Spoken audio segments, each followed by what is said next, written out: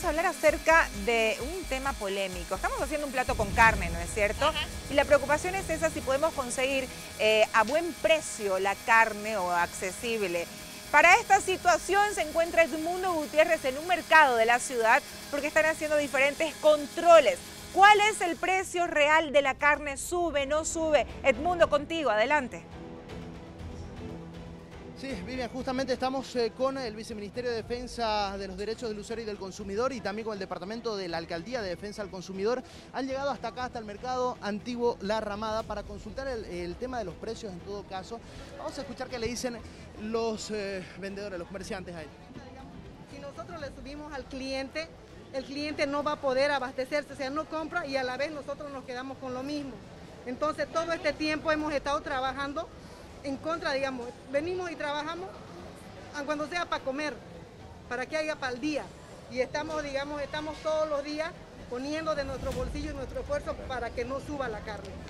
Ahí estamos escuchando, por favor, eh, el tema de que están quejándose al respecto del incremento que ha sido para ellos fuerte del kilo gancho pero que ellos no han subido el precio al consumidor final, están con las notas de remisión mostrándoles a la autoridad respectiva cuando podían... Antes, antes llegaba a 20, a 19 bolivianos, ese era el precio que llegaba antes.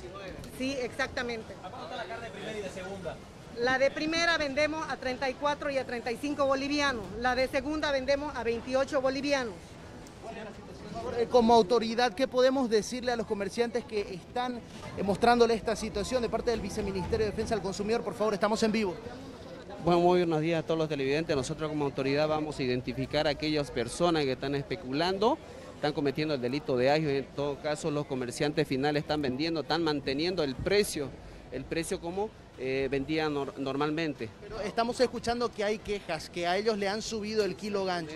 ¿Dónde está el punto? Está en los intermediarios quienes les proveen la carne lo están subiendo de 22, de 21 a 22, 22, 50, 23, 50 el kilo gancho.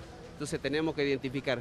Hemos consultado nosotros a algunos comerciantes y nos dicen que del mismo matadero, por ejemplo, le están vendiendo a 23.50 el kilo gancho sin intermediario, compra directa. Justamente en eso consiste este operativo verificativo del control del precio, para identificar quiénes, quiénes eh, en boca de ellos, quiénes son los que están subiendo el precio. Si es matadero, frigorífico o intermediarios. ¿A haber sanciones entonces? A haber sanciones las que correspondan. ¿Qué tipo de sanciones podrían ser? Por ejemplo, si se, está, si se identifica que están cometiendo un delito de especulaciones y agio, la sanción es penal y la sanción que corresponda hacer. Vamos a procesarlo.